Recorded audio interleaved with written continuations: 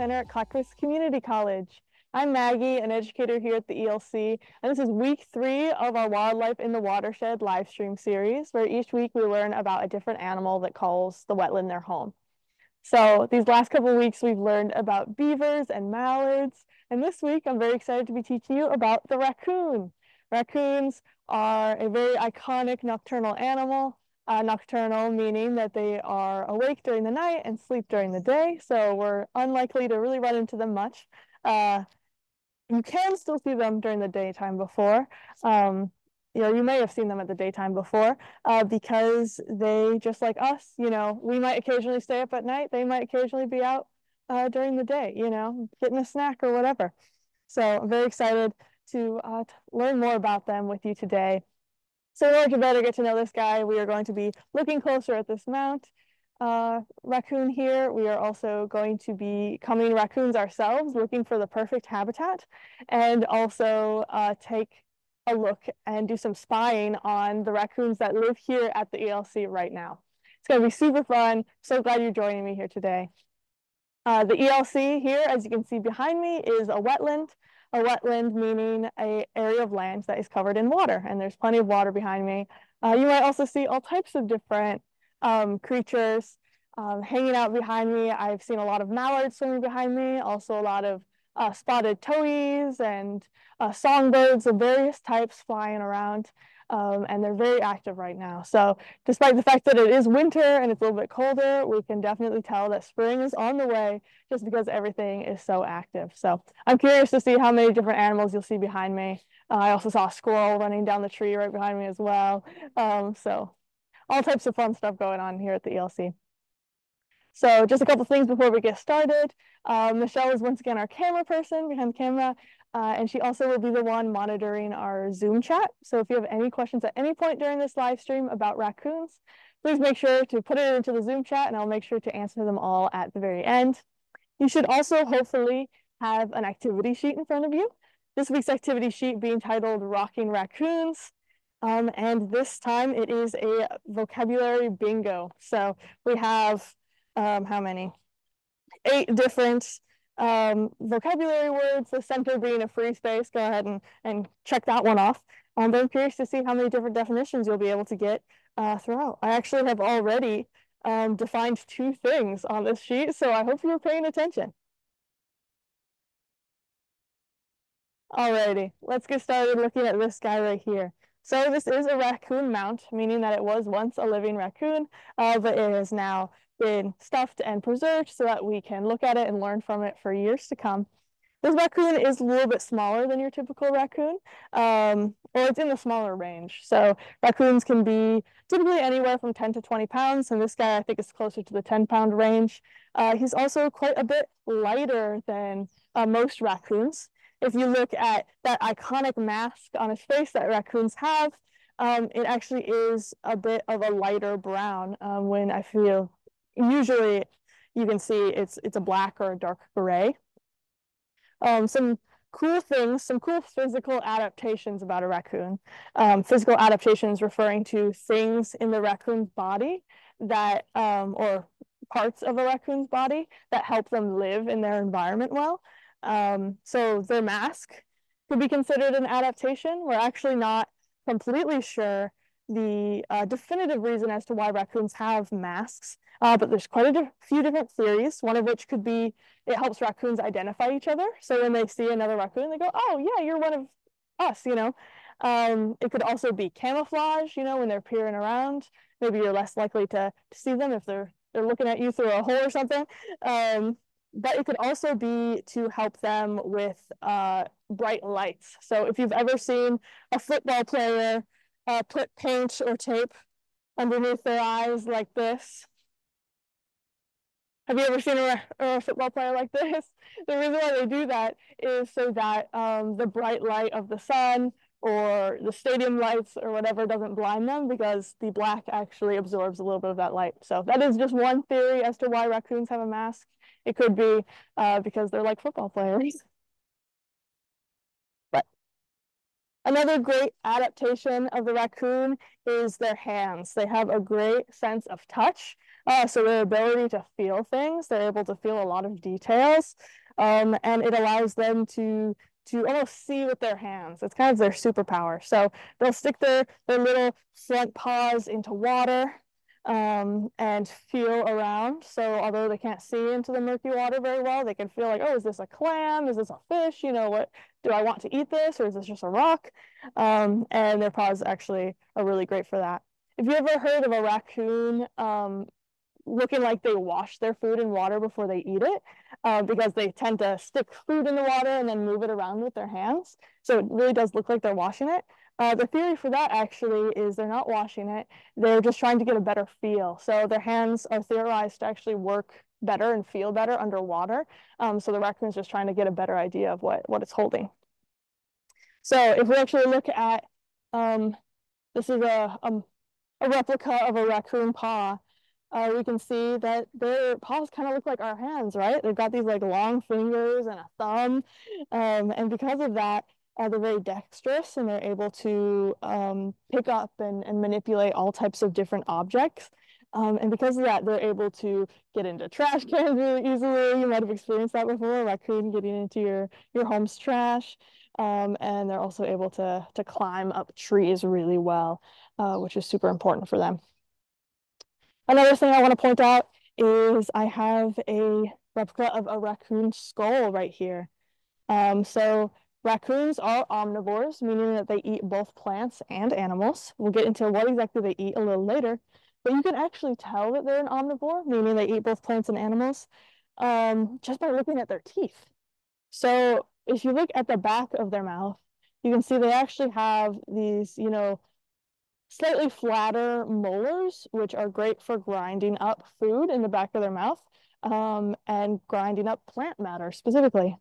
But then in the front here, they've got these super sharp canine teeth, um, which are great for tearing apart meat and animals. Um, and so just by looking at this, you can kind of see uh, that, that they're designed for both plants and animal eating. Um, if you take a moment to use your own tongue to feel your own teeth in your mouth, you can actually feel, you know, feel the teeth in the back of your mouth and feel the teeth near the front. Do your back teeth molars, are they flatter? Are they great for grinding up plants? And then versus your front teeth, what are your front teeth really good at doing? Most people are omnivores as well.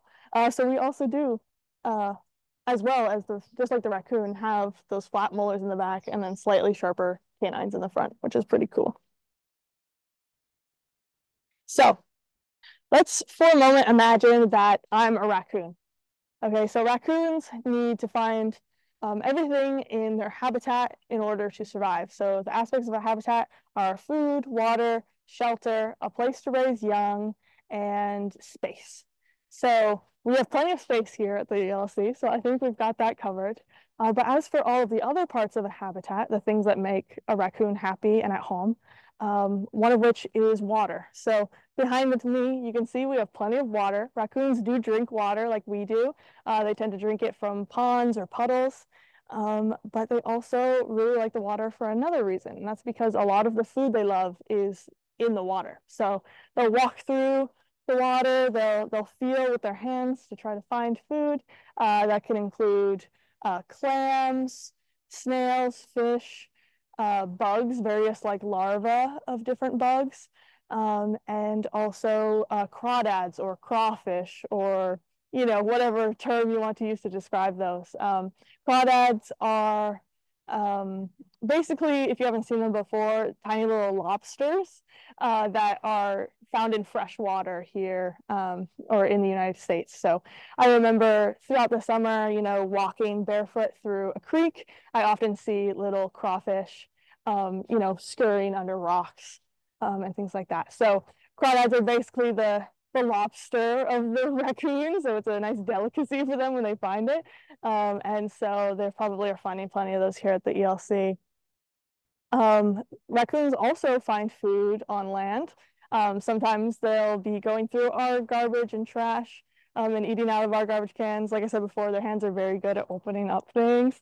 Um, but as for actual things out here. Um, they love to eat fruit and berries and nuts and seeds. And so over here, we actually have quite a few snowberry bushes.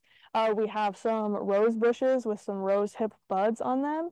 Um, and in order to get a in order to get a better look at those things, I actually picked off a little bit um, of a snowberry and a rose hip. Um, so right here, you know, you can see all these white berries, you know, referred to as snowberries because they truly are as white as snow. Um, these are toxic to people, so please do not attempt to eat these if you come to the ELC or see them around. Uh, but they are a native um, berry that I'm sure me, the raccoon, would love to eat. And then we also have um, a little rosebud here, uh, which is very nutritious as well um, for a little raccoon to eat. On land, raccoons also love to look around for bugs and worms. Um, so they'll find uh, piles of dead leaves, you know, and, and search around in there um, and find some worms. I actually, earlier today, um, did a little bit of digging, really got into the, the spirit of the raccoon um, and found some guys in here. So you've probably held one of these before. You've probably seen them around a lot. Um, but here is a little earthworm. May not look super appetizing to us, um, but if I was a raccoon, I would absolutely be slurping this guy up. Absolutely delicious. But I'm not a raccoon, so I'm going to go ahead and put him back. Alrighty. Another thing raccoons love to eat is birds' eggs. So I actually have right over here in the crook of this tree, I've placed a little nest. I wonder if you noticed it behind me. But this right here is a robin's nest. You can tell it's a robin's nest because a lot of mud uh, was included in the construction of this nest, kind of similar to our friend the beaver we talked about. Um, but you can also see they have these beautiful light blue eggs. Um, these are just the shells of some eggs. Um, so this is very clearly a robin's nest. I did place that nest there on purpose, um, and so I feel comfortable picking it up. Uh, but if you find a bird's nest anywhere, please don't pick it up like I did. you don't want to disturb the bird. Um, but yeah, if I was a raccoon climbing up a tree and I came across this, I would absolutely be eating up these eggs. Um, they're absolutely delicious. If a mallard comes across, or if a raccoon comes across a mallard's nest, do you think you'd eat that too? The answer is yes, that'd be very delicious. Raccoons will also eat small animals. They'll eat um, squirrels, uh, mice, anything they can really get their hands on. Uh, they're really good at having a big variety of things to eat. Raccoons also really appreciate um, our wetlands because the water here does get filtered um, through the soil and through the plants near the soil. Um, and it creates a really great home for all those bug larvae in the water. And that brings all types of other animals around. Um, and they just absolutely adore it. Um, and so having clean water and, and clean space is really important for the raccoon. So I know we're running a bit short on time, but I would really love to show you guys um, some of the things that raccoons have left behind here at the ELC that have shown that raccoons do live here. So let's take a really quick look at that.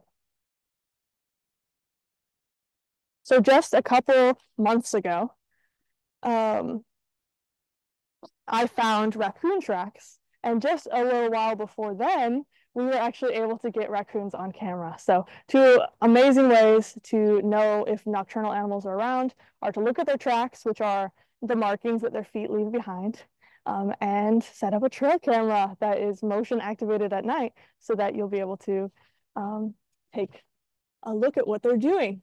So here's the picture of the tracks that I uh, took just a couple months ago. Now, when looking at this, how can we tell that these are raccoon tracks versus, let's say, uh, dog tracks or even people? Well, as we can see, they have uh, these tracks left behind. They're, they're nice long fingers, you know, that are, are very iconic of the raccoon um, that allows them to do all types of really cool stuff. Then right here, we have the night cam footage. I am so happy that we were able to catch a raccoon on footage. What do you think this guy is doing walking through the water? Is he searching for something? Yep, he is searching for food. Oh, and did you see that? A little tiny creature just ran across the center of the screen from the right side to the left side. Let me go ahead and rewind that to see if we can really get a look. So the raccoon leaves on the right side of the screen and right near the center of the screen, something's running. Do you see that? It's like a little tiny creature like hopping across the screen. So that could either be a crawfish, like I mentioned, those little lobster things, um, or it could also be a little frog, which frogs are another thing that raccoons um, absolutely love to eat. So very cool. A couple quick things I forgot to mention as well is the other aspects of the raccoon's habitat. So they tend to find shelter up in tall trees, um, often evergreen trees, and then they love to raise their young in hollow logs or hollow trees, uh, anywhere, or even like abandoned burrows in the ground, um, anywhere where they can fit um, their, their kits, which are what we call baby raccoons. Um, but I wanna make sure that we have plenty of time to answer any of your questions. So uh, please type them in the chat um, and I will make sure to answer your question about raccoons. Do you have any at the moment? Yeah. Okay, sounds good. One question that I had about raccoons was where are they most common? Because I know that uh, raccoons are, you know, all over the place. They are a very common animal. Um, but I wanted to know where exactly do they live? So raccoons actually live um, in all of North America, except for the very tippy top of Canada, because it's very, very cold there. Uh, but all of North America, and then a lot of the tip of um, South America as well. And the state where they're the most common is actually North Carolina, which is very interesting. That's a great question. Someone just asked, are there different kinds of raccoons? And that really connects with what I just said, which is super great. So raccoons actually do have some variety to them based off of where they live. So if you go up to Canada and you find a raccoon, they're likely to look really soft and fluffy, and that's because they have a lot of fur uh, that helps them stay warm. And then if you go down to South America or Mexico, uh, you'll see that they look a lot skinnier. They look a lot more like a lemur, I suppose. Um, and so uh, those are common. There's also um, a different mammal here in Oregon that's also nocturnal, referred to as the ringtail, uh, which I actually didn't know existed until recently. Um, so I highly recommend you look up that as well. They look kind of like raccoons. They act a lot like raccoons, um, but they're a completely, a fairly different animal. So super cool stuff. What's their lifespan? Yeah, that's a great question. Someone just asked, how long do raccoons typically live? Um, and because of a lot of things, so um, disease, uh, getting hit by cars, you know, lots of really tragic things. Raccoons actually don't tend to live that long, only a couple years, but I believe, I actually have it written down, um, that, oh, actually, I don't, they can live up to 16 years. That's, that's the amount. So yeah, they can live quite a long time, uh, but they typically don't. Uh, how do they do in the cold? You answered that one. Uh, what are their predators? It's a great question. Someone asked, what are the raccoon's predators? So uh, they have quite a few predators of, um, you know, those bigger animals like cougars, bears, um, but then also um, coyotes. Uh, but also the smaller raccoons, the baby raccoons, have to be really careful about hawks and owls uh, because they can just um, attack them from the sky. So yeah, but as long as they they stay in their shelters and and uh, all that, they should be should be good. What kind of food do they wash before eating? Good question. Someone asked, uh, what kind of food do they wash before eating? So, um, like I said before, they're not really washing it. They are just sticking in the water to feel it better. Um, but I think they do that with a lot of different foods. I personally have seen actually a raccoon uh, take a clam shell and stick it in water and kind of move it around and open up the clam to eat it, um, which is super cool. But I'm sure they do it with all types of different foods as long as water's available to them. What weather do raccoons like to be in the most? Mm, it's a good question. Someone asked, what weather do raccoons like to be in the most? I would say, like a lot of animals, the purpose of having a shelter in a tree um, or somewhere else is to protect them from rain and from hail and from snow. Um, so I'd probably say that raccoons like the same weather that we do, probably a nice sunny day, um, so that they're they're nice and comfortable. Okay, are they an endangered species, and how much do they weigh? Okay, two questions in one. Someone asked, are they an endangered species? Um, which no, they're very common because they've been able to adapt to um, ever-changing things. Um, lots of raccoons, um, you know, despite us humans, you know, cutting down trees and putting buildings there instead, uh, raccoons have been able to, you know, sneak into buildings and like sleep in people's garages and things like that.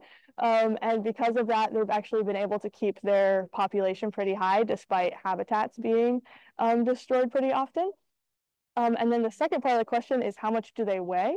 Uh, which they typically weigh 10 to 20 pounds, uh, but they can weigh up to 35, which is pretty big. Uh, do people tend to hunt them? It's a good question. Someone asked, do people tend to hunt them? Um, I don't think it's a very popular thing to hunt, um, but because they are um, very common, I'm sure I'm sure it happens. I don't know. Yeah, good question. So how do raccoons get into human areas? I think because the fact that they're nocturnal and the fact that they're really good at climbing and the fact that they're really good at opening things with their hands, they're able to get into all types of different places question. Are they still a type of hat? That's a good question. Someone asked, are they still a type of hat? Like a Davy Crockett? Is that who, who wears um, a raccoon hat? Yeah, that's a good point. Um, so maybe maybe raccoons are hunted more than I thought thought they were because yeah, some people like to make hats. but already, thank you so much for all of your questions. I'm glad that you're super curious about raccoons. I hope that um, when you're walking around, um, you maybe look up into the trees a little bit more and think to yourself, oh, a raccoon might be sleeping up there right now. Um, but I hope you'll join us next time to learn about great blue herons, which are also known as the pterodactyl of the wetland. I'm very excited. Um, but until then, take care, get outside, um, and respect all those who live there. All right, until next time, bye.